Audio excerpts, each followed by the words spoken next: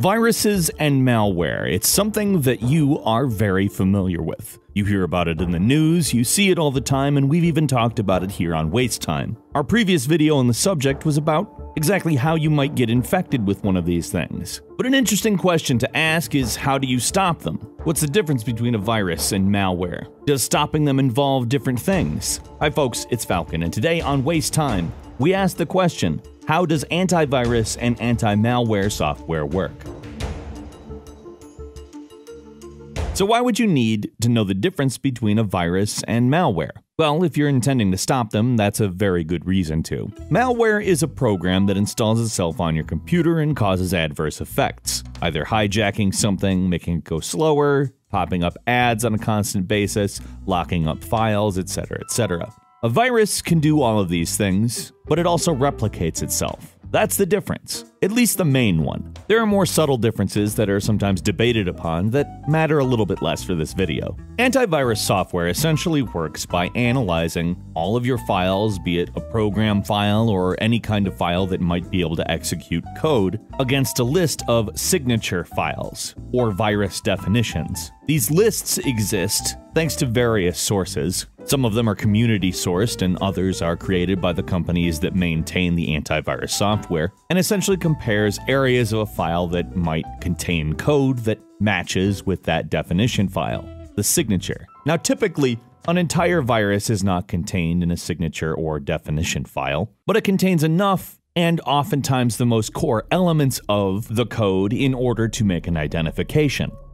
Modern programs continue to benefit more from artificial intelligence and those types of ideas as people are running lists, files, and various sources information through machine learning. This creates varying different types of ways to detect, including behavioral based detection, when certain effects are made that may not necessarily require an exact duplicate in code in order to detect. An antivirus then will sandbox off the offending file, meaning it will stop it from running, and essentially cut off any connections it could make to any other files on your computer, with the intent of ceasing any further damage. It then takes this file, which is no longer doing anything or connected to anything, now either quarantines it or totally deletes it. A lot of antivirus software now runs in the background to attempt to detect any different variances in damaging behavior or downloaded files that may or may not be viruses in order to flag and attempt to do something about. The preventative approach is always a better approach because removing something that replicates itself is not always a, an easy thing to do. Hell, removing something that doesn't replicate itself is not always an easy thing to do. With that, let's talk about anti malware programs. Now, what's the difference between an antivirus and an anti malware program? First off, you have to consider the difference that we established prior to explaining how antivirus software works.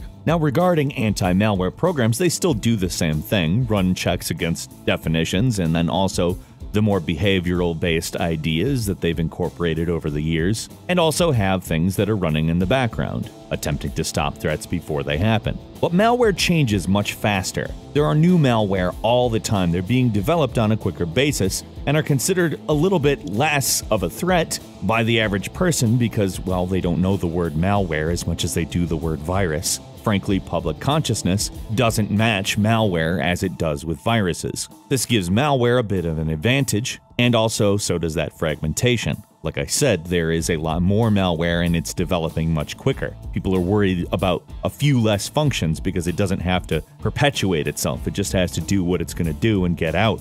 So, in that respect, anti malware tends to update a lot more. It will update its definitions on a near regular basis, sometimes daily, sometimes more than daily. I've had one of them recommend that they update every few hours. I'm not doing anything that requires this much security malware program. Do I look like Tom Cruise in one of the Mission Impossible movies or no? Like I don't think I do. I really I'm a bird. I am named Falcon and I am a Falcon. So there. I am very much a vanilla internet user. I am aware of how to be more than a vanilla internet user. However, it's way more work and I've frankly got other stuff to do. So, which one is better to have on your computer? Ha! There isn't one. You should have an antivirus and an anti malware. There's plenty of free stuff out there that works very well, and there's no reason not to have it. If you ever gotten a malware infection, leave us a comment, let us know. If you enjoyed this video, please click like, and if you want to see more, click subscribe. We upload brand new videos all the time. The best way to see them first is a subscription. As always, we thank you very much for watching this video. I'm Falcon. You can follow me on Twitter at Falcon the Hero, and we'll see you next time right here on Waste Time.